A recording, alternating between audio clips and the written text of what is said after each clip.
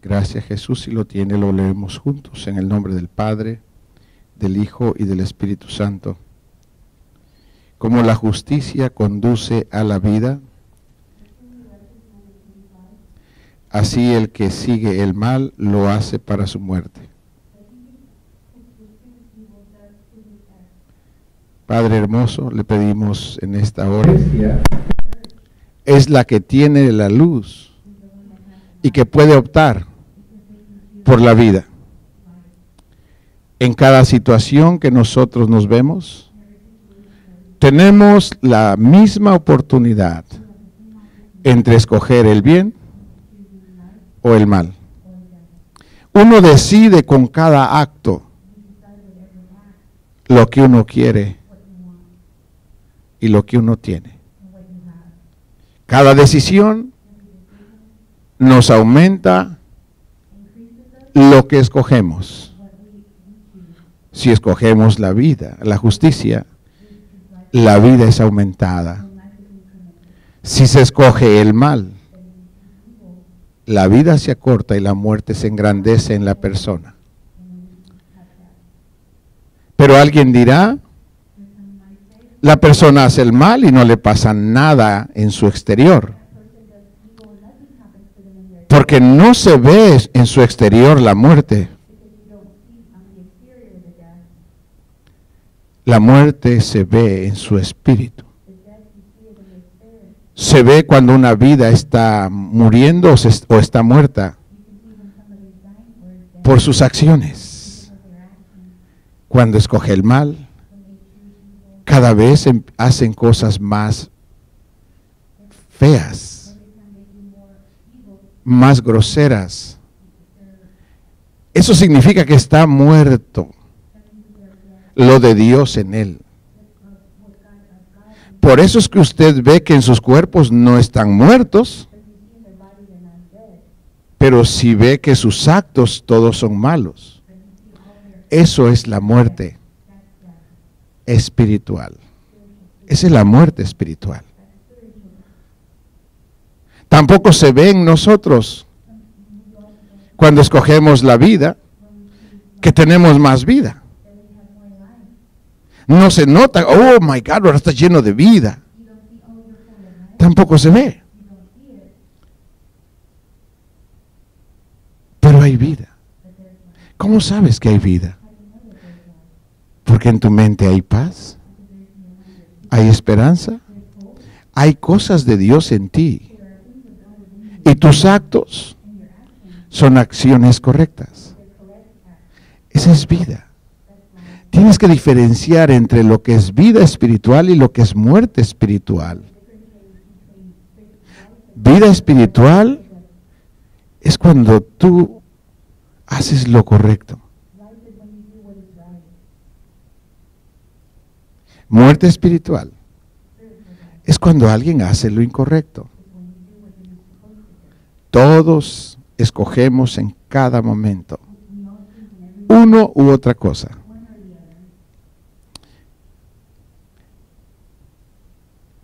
Como la justicia conduce a la vida,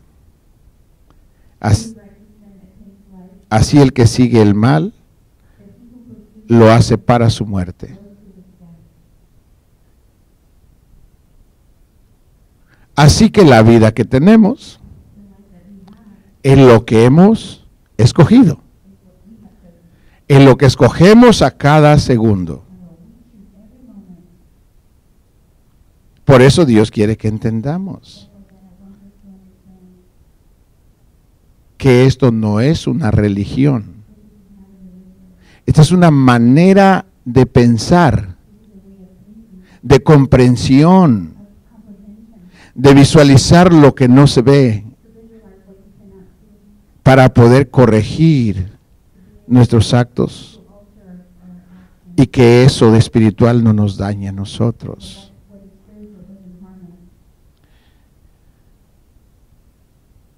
¿Por qué Dios quiere que entendamos esto?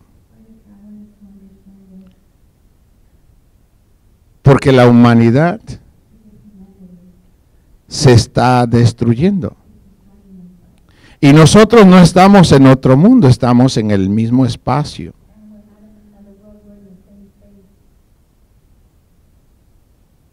Y el mundo dice que si todos, si en 100 personas, and if there are a hundred people, 99 piensan lo mismo y uno piensa diferente, dicen que la mayoría viene a ser el estándar. Viene a ser lo natural, lo normal. Y que si alguien está en contra de eso, él está mal. La iglesia vive en este mundo. Nos rodeamos, nos relacionamos con personas que no conocen a Dios. Cada uno, sea creyente o no, Each one of us, believer or not, motiva a que hagan lo que hace la persona. Es una invitación. El que toma, ¿qué quiere que hagan los demás?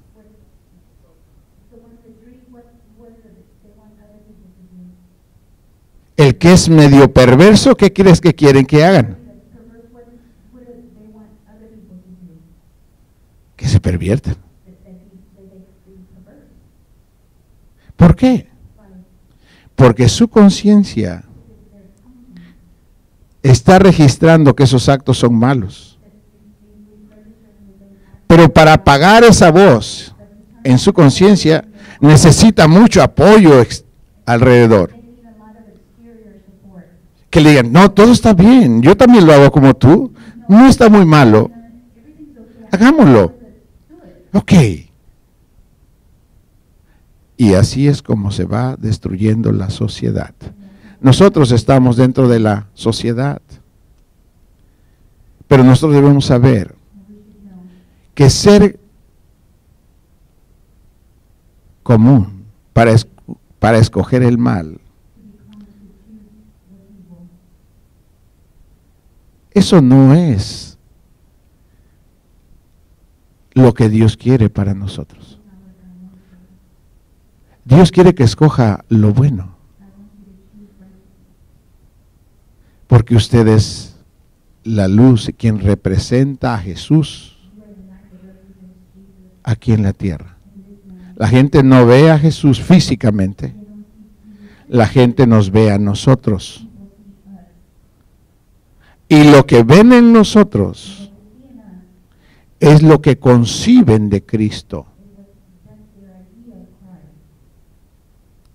Por eso es malo que uno que se dice ser creyente escoja el mal, porque transmite un mensaje equivocado y piensan que Dios es sucio y que Él acepta todo. Escuche la diferencia. Él perdona todo si se arrepienten, pero no acepta lo inmundo. Nos perdona para limpiarnos, no porque se deleite en que estemos sucios. El deleite de Él es que estemos limpios. La humanidad se está destruyendo. Todos lo saben, los niños lo saben.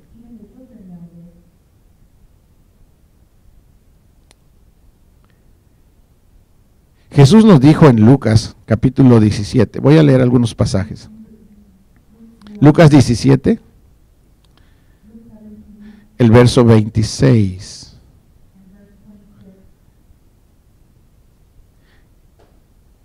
Jesús dijo, como en los días de Noé, así también será en los días del Hijo del Hombre.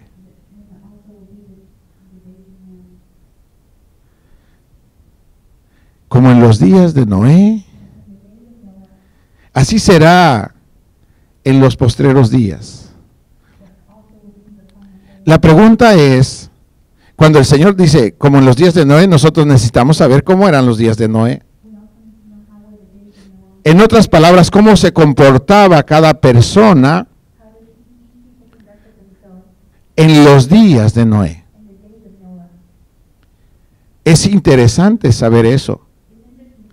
Porque si conocemos eso, tenemos un patrón para poder comparar y podremos hacer un juicio más correcto.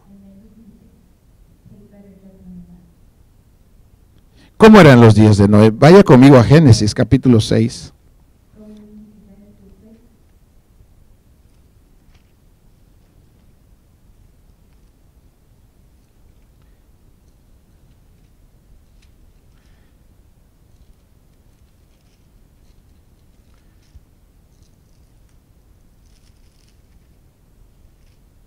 Gracias Jesús dice así en el verso, voy a leer el verso 1 y voy a ir al 5. Dice, aconteció que cuando comenzaron los hombres a multiplicarse sobre la faz de la tierra,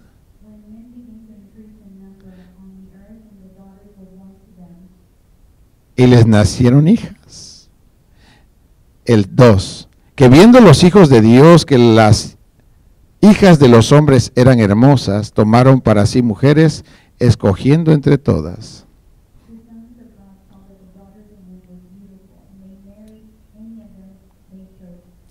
Y dijo Jehová, no contenderá mi espíritu con el hombre para siempre, porque ciertamente él, él es carne, mas serán sus días 120 años. Then the Lord said, My spirit will not content with man forever, for he is mortal. His days will be hundred and twenty years. Voy a leer el 5. Y vio Jehová que la maldad de los hombres era mucha en la tierra, y que todo designio de los pensamientos del corazón de ellos era de continuo solamente el mal.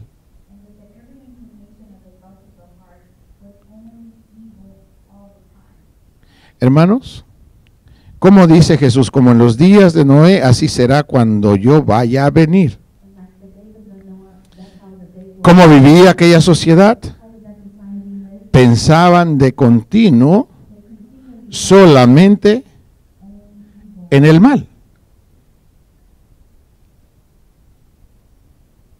Usted puede ver cada mente de cada ser humano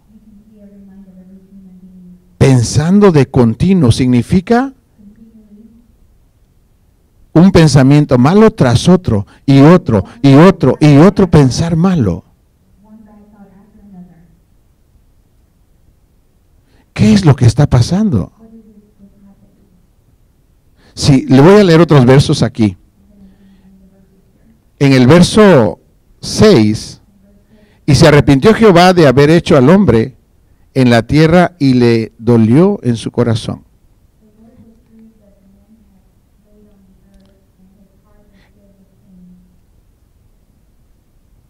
Dios se dolió de haber creado al hombre. Le hago una pregunta a usted. Usted que es pa- papá o mamá, cuando usted quiso tener hijos, ¿para qué usted quería tener hijos? ¿Cuál, cuál fue su razón? ¿Para qué quiso hijos? Why did you want ¿Para qué quiere hijos? A Dios le, dio, le dolió haber creado al hombre cuando lo vio lleno de maldad. Pregunta. Cuando un padre o madre ve a sus hijos llenos de maldad, ¿acaso está el papá y la mamá, uy, qué orgulloso estoy de mí? Are the parents proud of that? Duele, duele cuando alguien se llena de maldad. Se lamenta el progenitor, el que le dio a luz.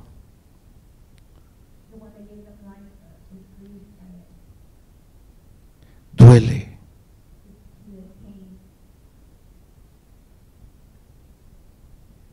Eso dijo el Señor. Le dolió el corazón. Pero eso no fue el final de lo que él dijo. Le dolió haberlo hecho, porque no lo hizo para que se llenara de maldad, sino lo hizo para que estuviera lleno de bondad, de luz, lleno de conocimiento de Dios. ¿Cómo es que se fue llenando de maldad? ¿Cómo fue ese proceso? Que un ser humano, los niños cuando nacen, nacen con maldad, hermanos.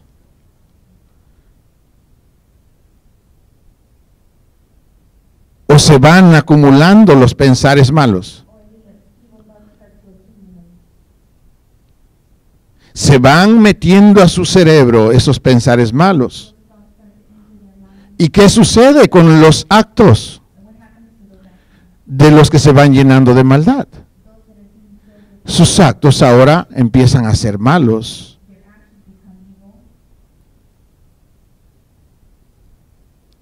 y ahora empiezan a ser rechazados. Pero no sus papás los desearon. Cuando los niños nacen huelen bonito. Bueno, cuando usted le pone talco es, es rico. Huelen bonito, hermano. Pero ya cuando van creciendo, de repente la gente empieza a ser así, mire, y se empiezan a hacer hacia atrás de esas vidas. ¿Por qué? Por la maldad que hay dentro. Because of the evil in that that's within them. ¿Cuál es la función de los padres? Evitar que eso suceda. Evitar que se llenen de maldad. ¿Qué le sucedió a la sociedad de Noé? Sus padres se alejaron de Dios. Se alejaron tanto de Dios que dice la palabra que no había un solo pensamiento de Dios en sus cerebros. Uno solo no había. Y está escrito ahí que de continuo solamente pensaban el mal. ¿Para qué sirve una sociedad así? ¿Para qué sirve una vida así? Solo como instrumentos de maldad para destruir a otros.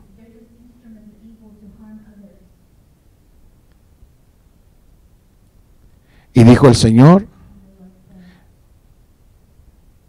en el verso 7, in verse 7, y dijo Jehová, raeré de sobre la faz de la tierra a los hombres que he creado,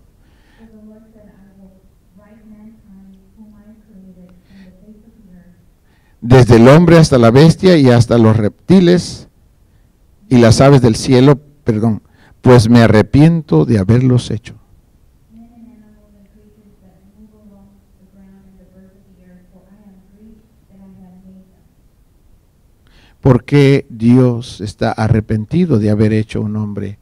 Porque Él no lo creó con ese propósito. Dios nunca ha deseado que una vida sea hecha para ser destruida. Su plan para cada persona es bueno, pero la gente escoge cada segundo o la acción correcta o la incorrecta. Cada individuo, sea adulto, joven, adolescente o niño, todos escogemos. Todos escogemos. Y lo que estamos escogiendo es lo que va a abundar en la persona. And what we're choosing is what's going to abund in the heart.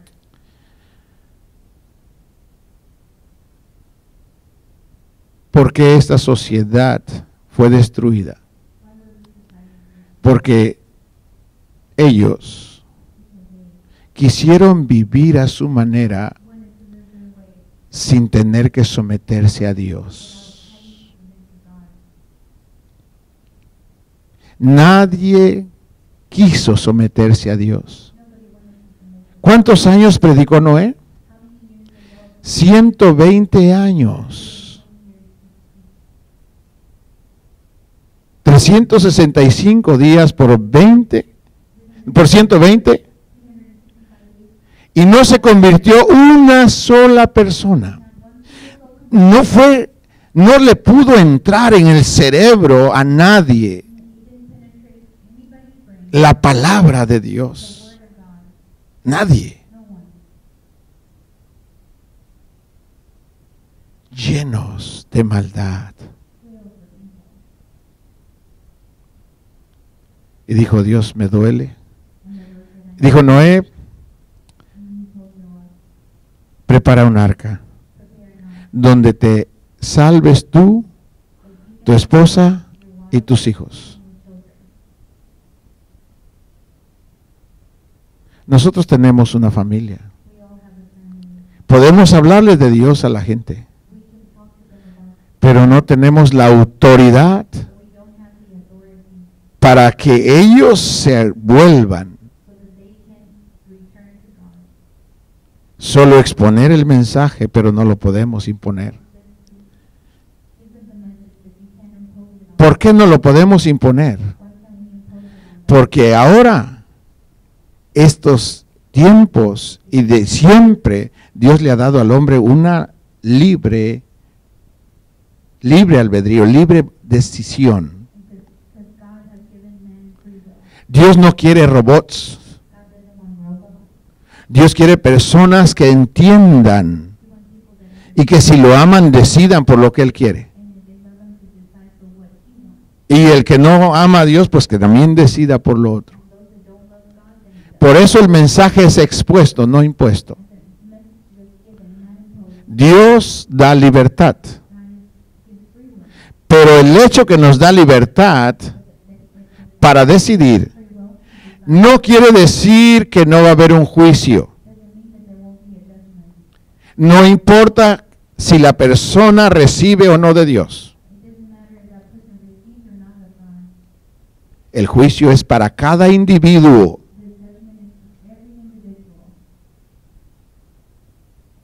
Para cada ser humano en toda la tierra. Por cada uno de los que han nacido y han tenido un cuerpo. Para todos hay un juicio. Y vamos a tener que rendir cuentas al Creador. Le guste o no a la persona. La persona puede decir, yo no creo en Dios. Hermano, es ridículo. Aunque la vida dice que no cree. ¿Acaso porque no cree nos está envejeciendo? ¿No se está enfermando? ¿No se está muriendo? ¿No está siendo destruido? Yo no creo. Los resultados dicen que está siendo afectado igual que cualquiera. Puede decir, yo no creo. Aunque diga que no cree. La palabra lo está cortando. Y va a tener que responderle delante del Señor. Cuando tenga que responder. Por ahora el mensaje se expone. Pero viene un día cuando van a preguntar qué hiciste respecto a ese mensaje. Es que yo no creo, es que yo no creí. Jesús no es un mito. Jesús es una persona física que estuvo entre nosotros que mostró que Él es real y que no hay excusa para decir que Dios no probó que los amaba o que nos amaba. Y como Dios hizo eso, entonces, después, cuando tenga que presentarse a juicio, nadie es nadie va a tener excusa y decir, yo no sabía de Jesús. Nadie es nadie. Alguien de decir, yo nunca, a mí nunca me dijeron. En Romanos capítulo 1, el verso 18 dice, que aún su conciencia les da testimonio a ellos que las cosas creadas fueron hechas por Dios. were created by God. Que no los acepten, no importa. Hay un testigo en su interior que sabe que Dios es el creador. Hermanos amados, Dios le dijo a Noé que preparara su barca. Y él lo hizo. Y, y escapó. Escapó con su familia. ¿Qué tenemos que hacer nosotros? ¿Preparar nuestra arca? ¿Quién es nuestra arca? Jesús. Jesús es nuestra arca. Jesús es el que nos sostiene. Jesús es el que nos levanta, el que nos anima, el que nos cuida, el que nos protege. Es Jesús, hermano. Pero Dios no quiere que solo entre Noé. Dios quiere que entre su esposa de Noé. Dios quiere que entre sus hijos y las nueras, las esposas de ellos. Pregunta, ¿cómo es que hizo Dios a través de Noé que ellos entraran? How is it that he was able to use Noah for them to enter A el arca. to the ark?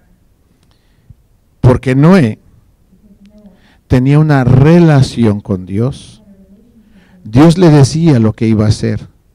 Porque su mente de Noé estaba abierta. Dios, ¿qué va a pasar? Y Dios le hablaba. Y mire cómo hizo que entraran sus gentes.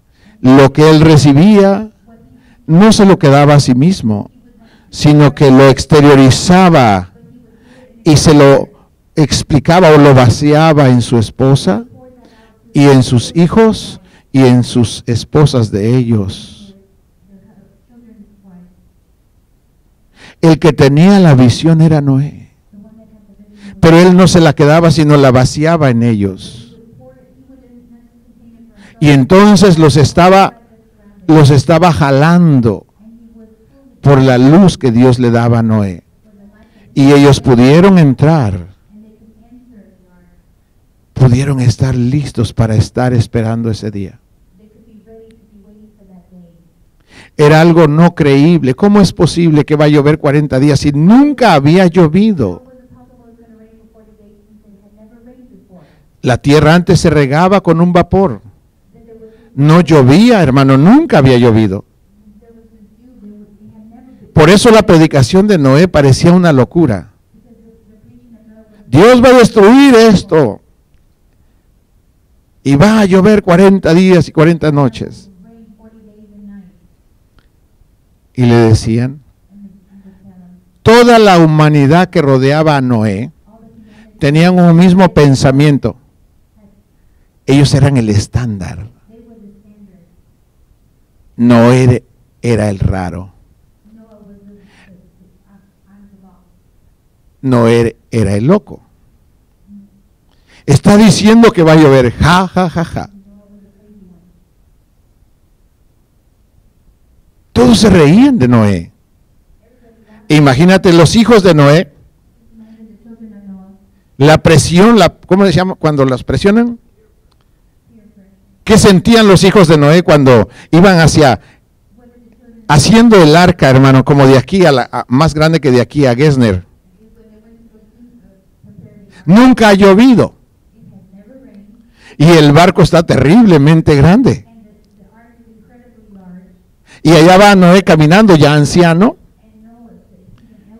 y sus hijos tras de él. Y sienten lo que acabas de decir. the peer pressure, and he, they feel the peer, uh, ¡Ey! ¿Qué dice tu papá? what is your dad saying? ¡Ey! ¿Cuándo va a llover? ¡Uh! ¡Uh! Le hacían. ¿Y qué hacían ellos? Tal vez se ponían rojos. Tal vez esas palabras los hacían como quería regresar. No, mejor ya no sigo a mi papá. Pero Dios le hablaba a Noé. Noé, la tierra está llena de violencia. Todos, dice, está escrito lo que estoy diciendo, todos se han corrompido, están corrompidos. Todos. Y eso le decía Dios a Noé y Noé lo vaciaba en sus hijos.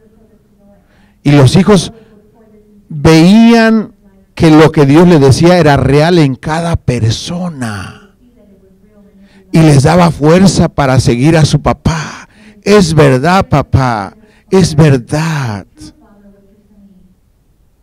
Y les daba fuerza para ir detrás de su papá.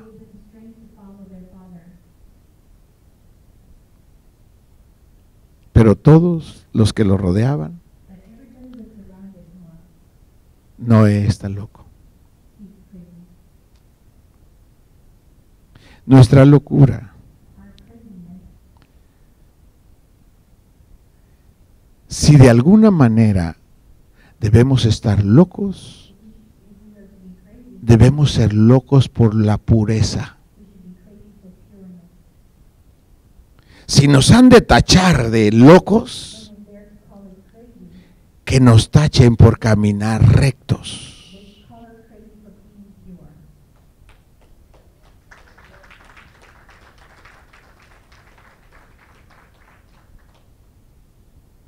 Esa era la crítica de Noé, contra Noé. There was a criticizing for, for Noah.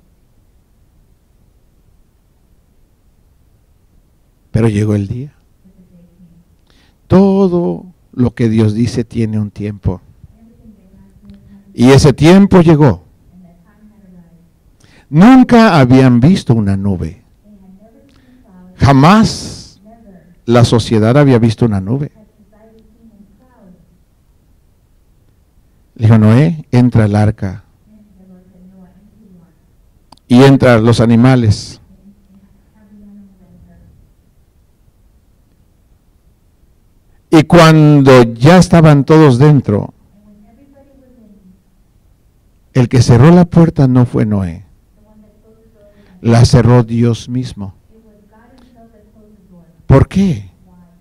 Porque nosotros con nuestras almas, cuando ya los juicios están ahí, queremos salvar hasta el diablo. we want to, want to save even the devil. Ay, pobrecito. Ay, ay, ay. Ay, ay, ay. Ay, ay, ay. Ay, ay, ay. Hermanos, el ay, ay, ay les quita lo malo. No.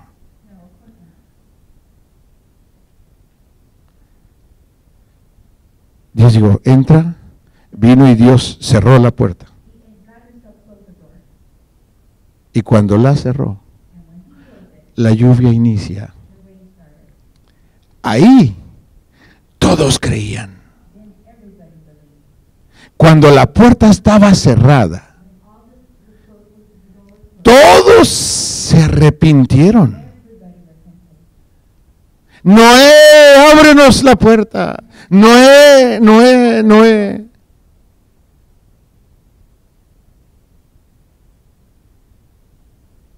¿Están arrepentidos? Dice uno con los ojos naturales.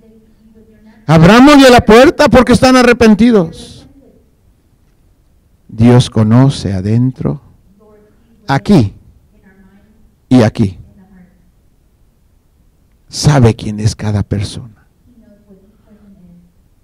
Y Dios no abrió la puerta. Y la lluvia empezó. Hermano, estos días que pasaron, que estaba llueve y llueve, dije, Señor del cielo, have mercy. El río de brazos, ¿cómo se llama? Oh my God. Hermano, estaba arriba. Si avienta tres o cuatro días más de agua, ¿qué, qué sucede? ¿Qué pasa de, de los que dicen que, uh, gran... No. Todavía un- una persona me dijo, ¿sabe? Después de tantos días, todavía la gente no ha podido recuperarse. Todavía hay mucha gente que no tienen agua para tomar ni para sus ganados. Y me platicó un incidente, dice que una persona, una mujer, que tenía su trabajo, iba al trabajo y de repente empezó allá su cuerpo a despedir olores no gratos. Y entonces le dijeron, hey, tú no puedes estar aquí. Le, le dijeron, vete. Y ella dijo, es que, es que no tengo agua para bañarme. Hermano, aquí, aquí. No tengo agua para bañarme. Y le empezaron a llevar agua y decirte, para que se bañara un día sí, un día no.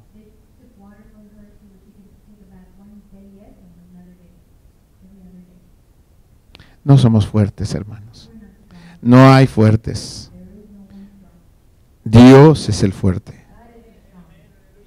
Así que debemos de tener cuidado. Dios, por haber visto tanta maldad, se vio obligado a ejecutar ese juicio. Destruyó a todos los seres humanos que estaban sobre la faz de la tierra. Todos.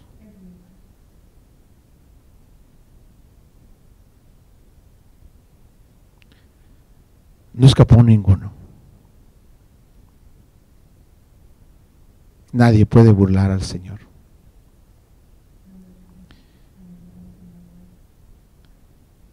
Por eso el Señor Jesús dijo, así como en los días de Noé, así va a estar la sociedad antes que yo venga. Pero nos dio una recomendación y me gustó esta. Dice a nosotros, acuérdense de la mujer de Lot.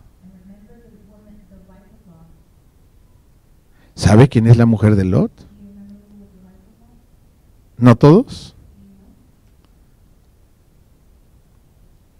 ¿Saben qué hizo la mujer de Lot?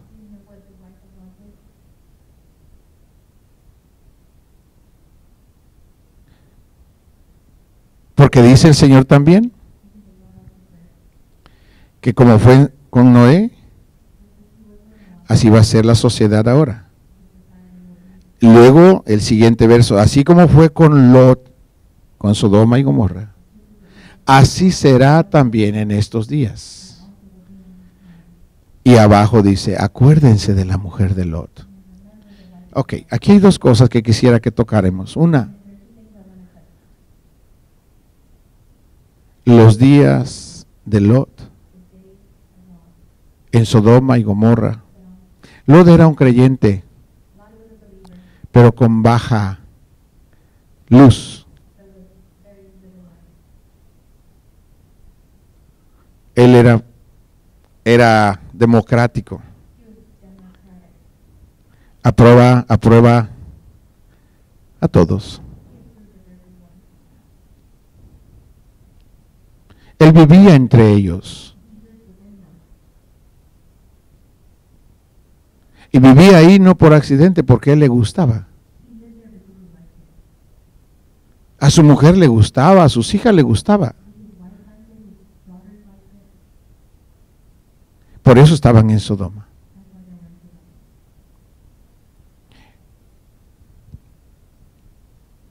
Y el Señor dijo que nosotros en los últimos días vamos a ver esto. La pregunta es cómo nosotros vamos a comportarnos en estos tiempos. ¿Cómo vamos a dirigir a nuestra familia si estamos en una sociedad así? No podemos, no podemos, si usted tiene un trabajo, no puede separarse de las personas que están con esas cosas. No puede, porque ¿a dónde se va? Si usted tiene que ir a por su trabajo, por su, su pan, Tiene que estar ahí. Pero el hecho de estar en el trabajo es una cosa. Otra cosa es estar de acuerdo con lo que hacen. Con eso no podemos estar de acuerdo. Y ahora ese, ese desacuerdo que tenemos no es porque nosotros lo queremos, es porque Dios lo dice. No es que nosotros queremos ser o estamos formando la sociedad a nuestra manera, no es así. Es Dios quien establece esos principios. Y por obedecer sus principios es que tenemos que comportarnos así.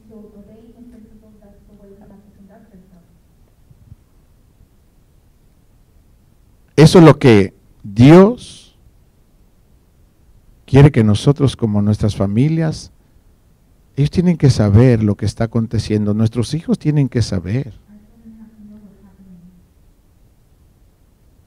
La gente se está alejando de Dios en sus mentes. Hermanos, usted hable, hable, su deber como padre es hablar con sus hijos y preguntarle, y solo tiene que probar cuánto en su cerebro, cuánto conocimiento hay de Dios y cuánto hay de.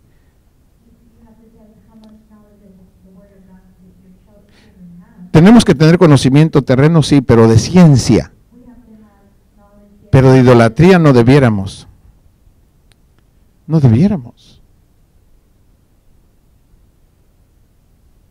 Por ejemplo, los niños de repente, ellos prefieren las caricaturas de, de- de muchas que el mundo tiene que las cosas de Dios.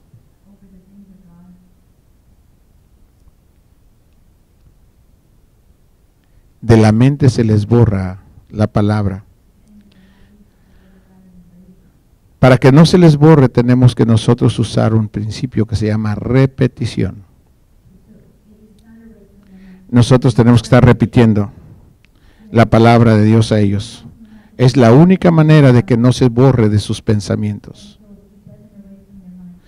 Eso es lo que hacen las compañías comerciales, de, los anuncios, una y otra y otra y otra. Porque están haciendo presente su conocimiento en el cerebro de la gente para que la gente obedezca lo que ellos les dicen. Nosotros también, si queremos que estén con Dios, tenemos que estar remarcando en su mente, Dios está haciendo aquí, Dios va a hacer aquí. Ellos tienen que saber eso para que no los sorprenda. Lot llevó a su familia ahí y ahí la perdió. La esposa de Lot, ella no quería salir de Sodoma, ni Lot quería salir de Sodoma. Sus hijas tampoco. Los ángeles tuvieron que agarrar. Uno agarró a Lot y a la esposa y el otro agarró a las hijas y las arrastraron hacia afuera de Sodoma. ¿Por qué cree que los arrastran? Porque adentro aman eso, lo quieren. Esa es la razón cuando alguien es arrastrado hacia un lugar, es porque algo lo agarra, hermano. Y está ahí dentro. Cuando lo sacan, le dicen al Lord, vete. Y le dicen, escapa por tu vida. Una pregunta. ¿Qué es lo más valioso que uno tiene cuando ya las consecuencias del pecado están ahí?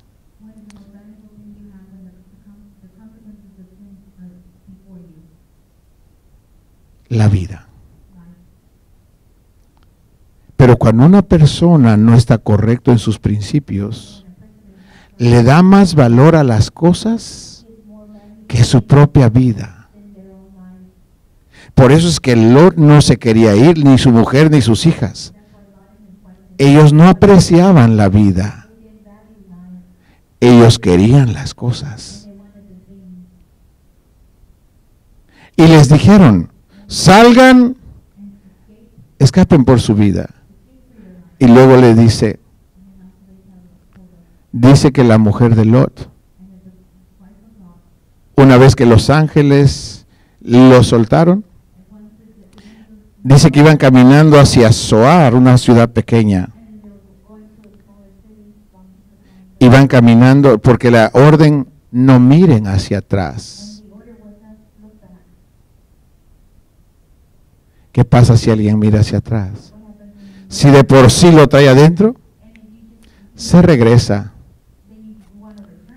Y le dijeron, no mires hacia atrás. Y allá van caminando, hermano. Y de repente la mujer de Lot hizo esto, mire. Se informó de que Lot no la viera ni que sus hijas la vieran. Hizo así. Y cuando vio hacia atrás, se convirtió en una estatua de sal.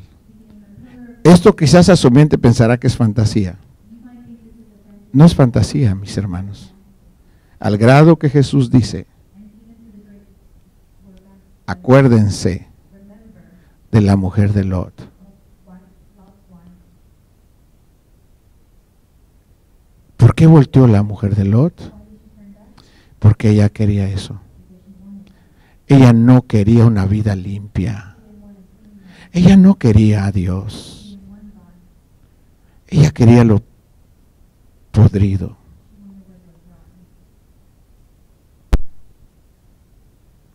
Y Dios la dejó como estatua. Para testimonio para toda la humanidad que creemos en Jesús, que en los últimos días, hermanos, lo más valioso no es tu carro, ni es tu casa, ni es tu trabajo, ni el dinero que tienes. Lo más valioso es tu persona, tu vida, tu forma de pensar, tu forma de sentir. Es lo más valioso. Si una vida pierde la pureza, pierde la pureza en su mente y en su corazón, Jesús dijo, si ganares todo el mundo y perdiereis tu alma,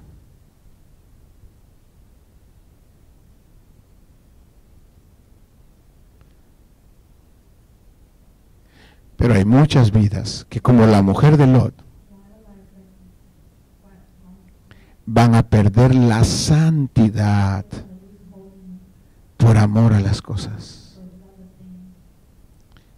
Van a perder la santidad por amor a lo que ven.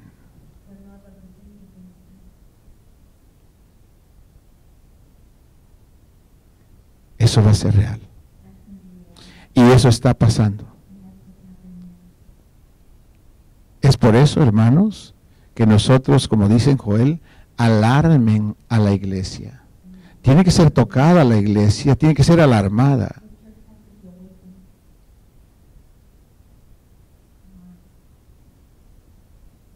¿Qué hacemos con nuestros niños?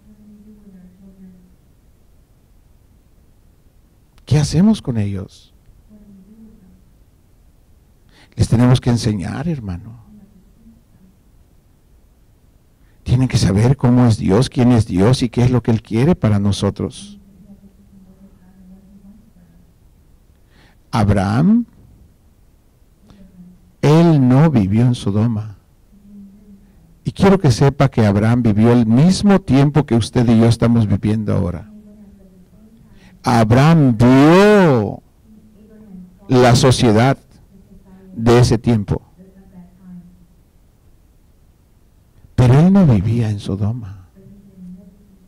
Él vivía en un monte. Y en ese monte estaba él, su esposa y su hijo.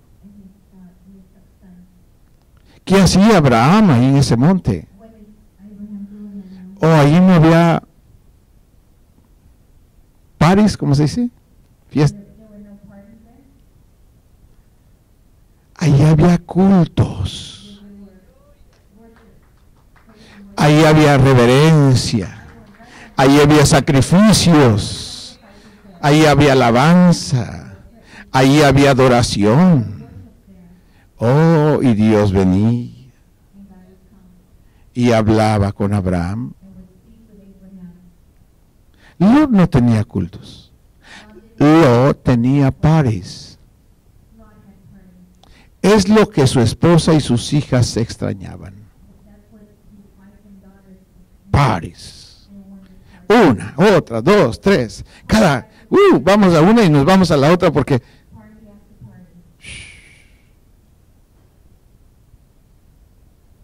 fiesta tras fiesta.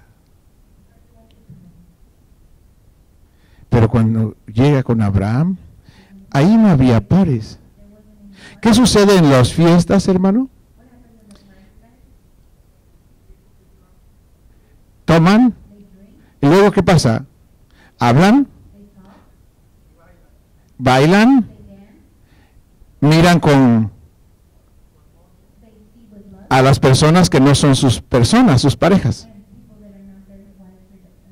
Ahí en su propia cara. Y lo hacen tanto el hombre como la mujer, lo hacen todos. Yo he visto eso. Ahí, ahí, ahí. Y que es que su amigo, dice. Así dicen que es mi amigo. Y ahí le está viendo a la mujer. Y he visto mujeres haciendo lo mismo. Eso es lo que sucede en los pares. ¿No has sentido tú cuando has estado en uno? ¿No has sentido eso? ¿No ha tenido tu cerebro eso? ¿O estoy hablando locuras?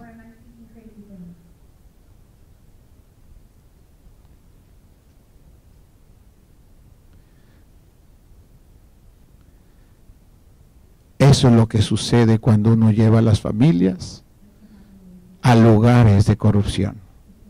Las pierden. Pero si uno los lleva a la presencia de Dios, mire hermano, unidos, fortalecidos, con respeto, con honra, contentos, Porque ese es el resultado de buscar a Dios un orden, una vida limpia de respeto.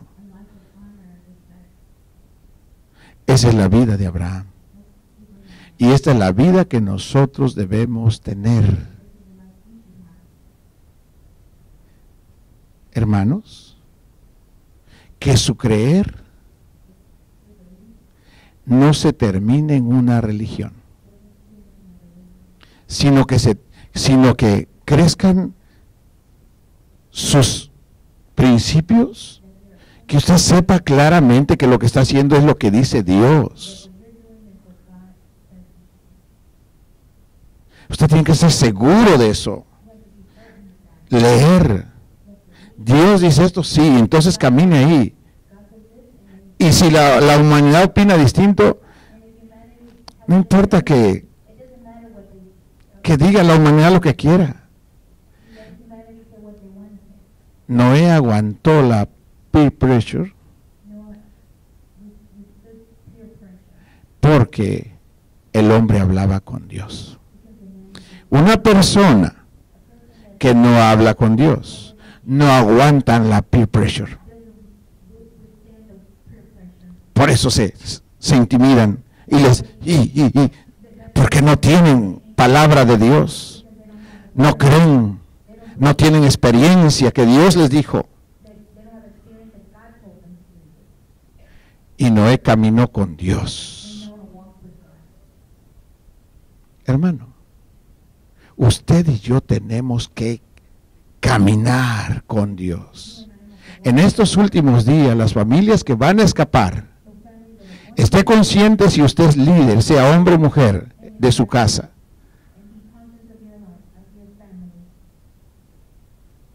tiene que caminar con Dios o su familia no escapa.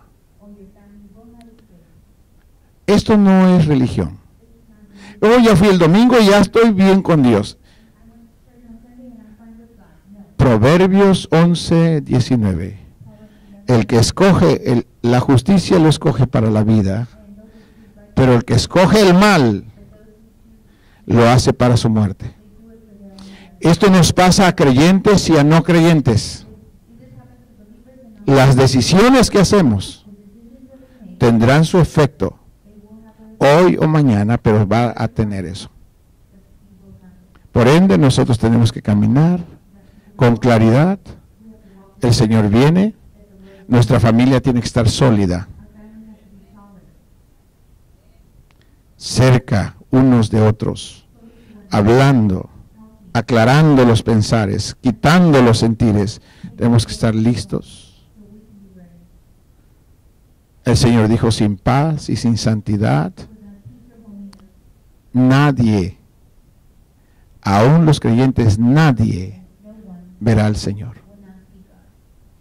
O tiene paz y pureza, o hace muchos años le dije a una vida, si tú no crees en el rapto, entonces ¿qué estás haciendo entre nosotros?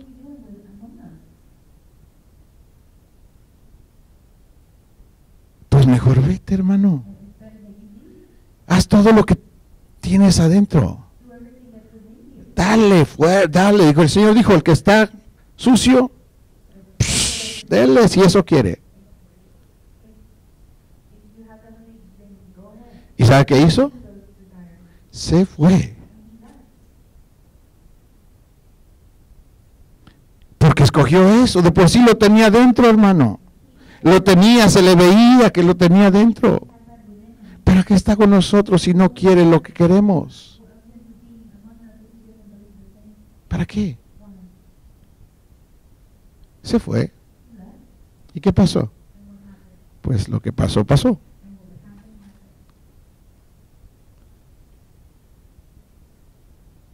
Nosotros tenemos que caminar con Dios. Nuestra esperanza es hermosa, mis hermanos.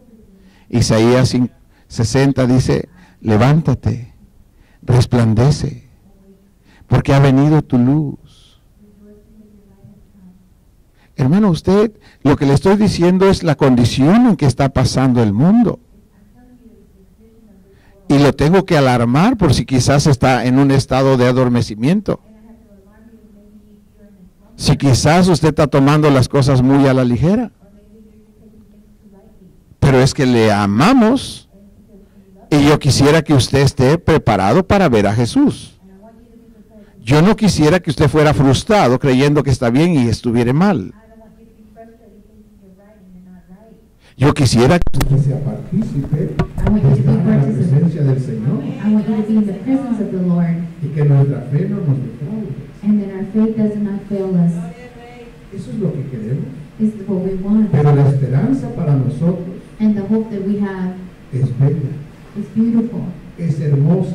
It's beautiful. Hermano, vamos a ver físicamente a Jesús. We're going to see Vamos a estar con Él. We're going to be with him.